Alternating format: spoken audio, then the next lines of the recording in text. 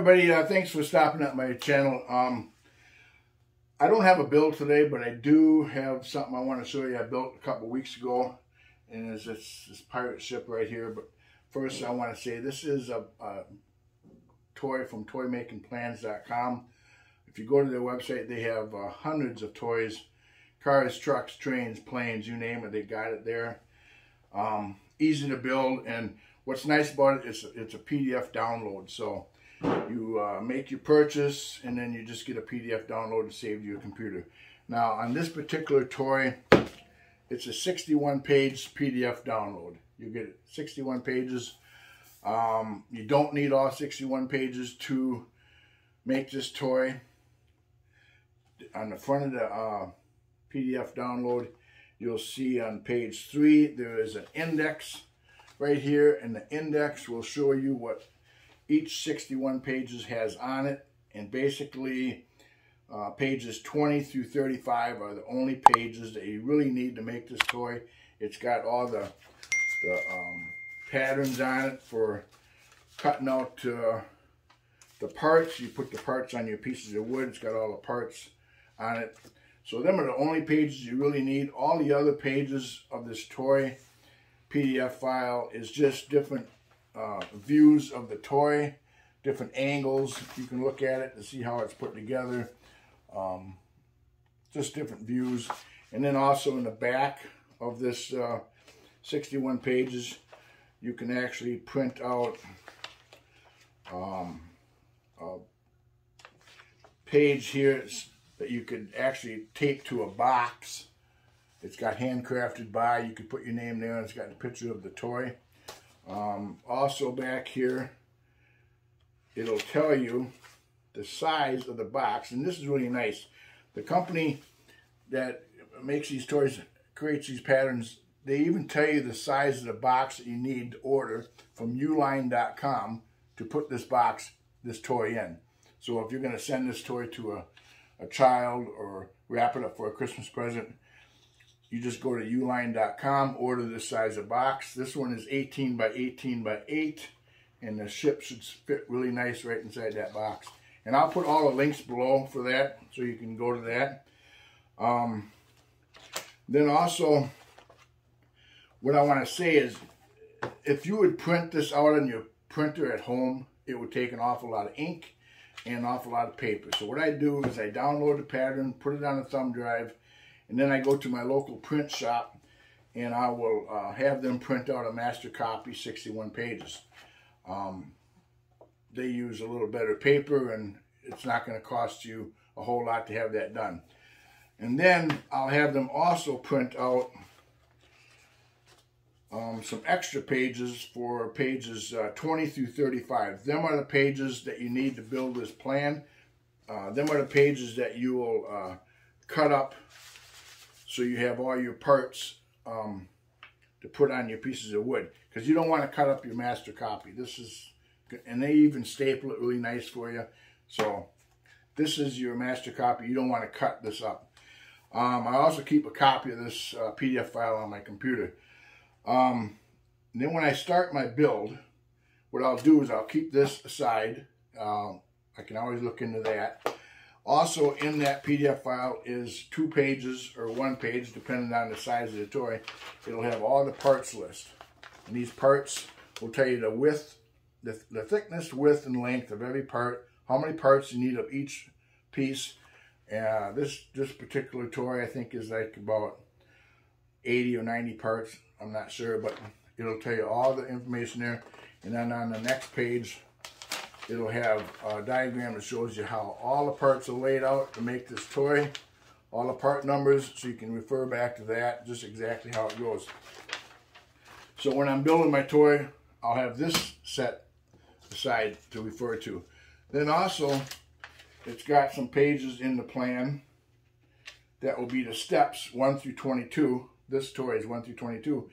Step 1, 2, 3, 4, 5, and so forth, all the way up to 22. It'll show you how to put everything together, what to glue, and where to glue it. So um, that's pretty handy. So when I start building this toy, I'll have my master copy sitting, and then I'll have my parts list sitting off to the side, and I'll have this step illustration sitting off to the side. So that way I can refer back to all of them. So here is the ship that I built. Um, and you'll notice on this boat right off the bat that I don't have the the fancy cradle that they use to cradle this boat in. The front piece that goes up and then the piece in the back that goes up. I do have the stands on the ship, but I don't have the the back and front cradle part. Um, and here's, and I do have them right here. I cut them out. I cut them out. I saved them, but the reason why I don't have it on this boat is because the front one didn't fit very well. The back one fit really good, but the front one didn't fit good. So I could have just made a new front one, um, but I didn't. So I just decided to leave it off. Um, but I did decide to keep the the stand part. I put that on. You you probably wouldn't even need this if you didn't want to. You could sit right on the flat part of the boat. But I put the stand pieces on. And then right away you're going to notice too is the boat is two different colors. And what I do is instead of buying different colors of wood, which you could, I just use different colors of stain and stain it so it appears to be uh, a light wood and a dark wood. I think this is walnut stain I used on there. Uh, and then the, the, cannons, I painted them black. But um, I just used two different colors of stain to make it appear this way. So you, you basically use your uh, uh, step illustration and you start from step one and you basically build the bottom and this top comes right off on this boat. You build your bottom and then you get to your first floor. Now you'll notice on my floors that I do have them looking exactly like uh, wooden deck floors. The bottom floor, this top floor right here, and then there's also this floor on this top part of the deck. It actually looks just like a wooden deck floor. And what I did was take my ruler and I drew out all the lines. When I cut out this floor piece, I drew out all the lines and then I took my wood burner and I burnt all the lines with my wood burner to make it look like a wooden deck. And then I took, uh, I think it's walnut stain, and I went over the top of it with walnut stain. So that is, it makes it look just like a wooden deck floor. So that turned out really nice. I love how that looked. Um, and then the floors, these pieces here are actually Baltic birch plywood. Uh, it's, the ship is made out of Baltic birch plywood and pine. Um, so the floors get glued on top the bottom pieces that you glue together here. You want to make sure when you build these plans that you uh, measure twice and only cut once. I mean, really measure everything, dry fit stuff so it fits before you glue it. Um, that's really important. And then when you when you get to that point we're making these floors, these floors got two holes in it right here. And them two holes are for to hold the mast. When you put this piece back on this toy, goes to mast. These two, this is actually two pieces of wood right here. And you got the hole going through it, and you got the hole going through the top piece on the top floor. You want to make sure that these holes are lined up all the way through. So everything sits and lines up, and it lines up with the bottom right here so it sits down on top of the toy really nice. Um, you just want to make sure you do that, dry fit that before you glue everything. And then you want to make sure there's enough sticking through to hold that really nice in there. Uh, I'm not exactly sure that's exactly the way the plan called for it, but that's the way I did it. Um, then the cannons, there's several different pieces that make this cannons and they sit in the squares like that there.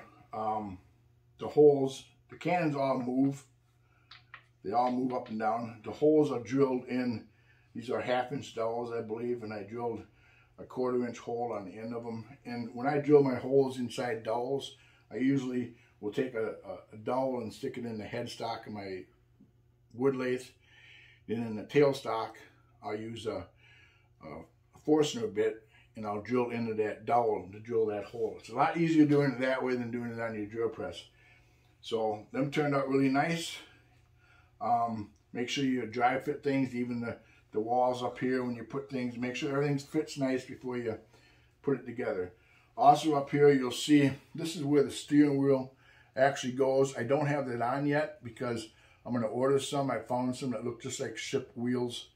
Um, they do have just a regular round disc that you can glue on here in the plan, but I wanted something more authentic looking, so um, I'm going to order some ship uh, steering wheels to glue on there.